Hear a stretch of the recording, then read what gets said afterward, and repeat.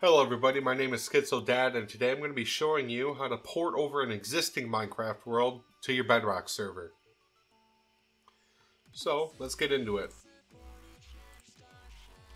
Now, we're going to open up Minecraft and we are going to select a world that we want to port over.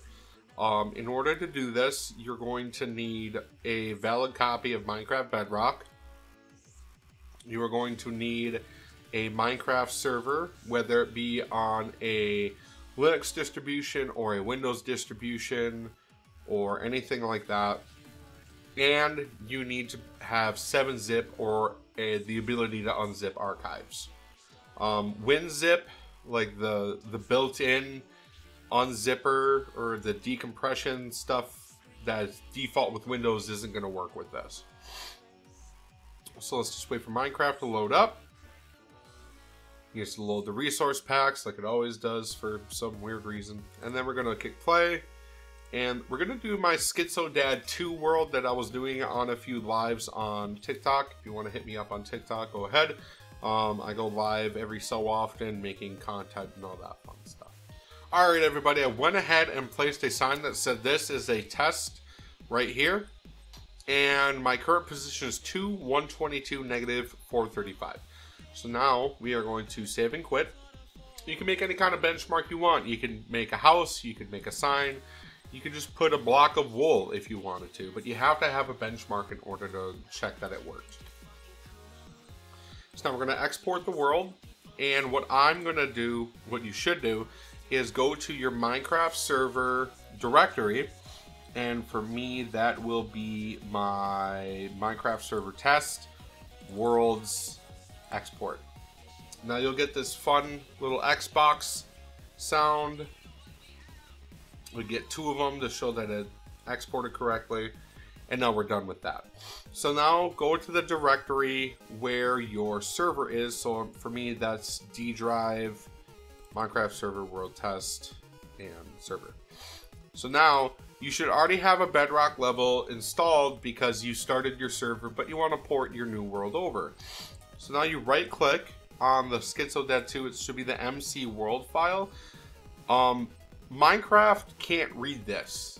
Minecraft can't read this. So what we want to do is we want to right click, go to 7-zip, open archive.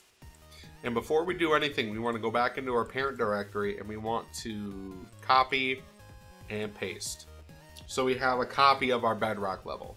So now we go back to 7-zip and we can extract ellipses, scroll all the way down, worlds, bedrock level, the original bedrock level. I'll click OK, OK and say yes to all. What you just did is you overwrote the files inside of the bedrock level to the new world that you wanted to import.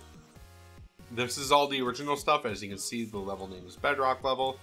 But in this bedrock level, the level name is Schizo Dad 2, which is going to display on your server list when you run your server. So now you can just get rid of the MC world file because you don't really need it. And then what you want to do is start up your Bedrock server. It's going to take a little bit to load because it's reading a new DB file, which is what holds the binaries to create your world. So what you want to do is just wait for that to open. And then when it starts running, you can head onto your Minecraft client and load it and load your server and the world will be there.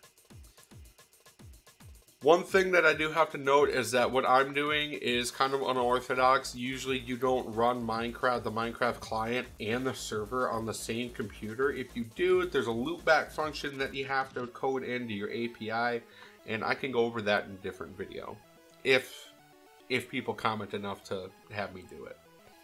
So now that the Bedrock server is running, the name of the server is um, Bedrock level so now we are going to minus, minus, and we are going to open Minecraft again. This is where the benchmark or the waypoint test comes into play. In order for this to work, like I said, on the same computer, you need to have a loopback function allowing you to access things on your own computer through the internet. And I can show you how to do that in a different video.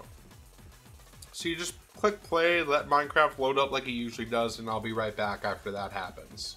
Alright everybody, we're back on Minecraft, so we're going to click play. And obviously you see that the dummy server is there, and look at that, our level name is SchizoDad2.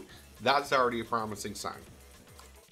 So you can go ahead and load this up. It's going to take a second to load because this is your first load into a world. And then you have to have yourself OP'd for this. You have to have yourself OP'd for this. So if you don't know how to do that, head over to your server console and type OP your username once you log in. If you're not logged in, it's not going to work. So then what you want to do is you want to type teleport at S for self and teleport yourself to your waypoint. So mine was 2, 122, negative 435. Now it's going to take us there. And there you have it. You just ported over a Minecraft world into your server. Congratulations. I really hope you guys enjoyed the video. There's going to be more to come. Thank you so much for watching, and I'll see you in the next video.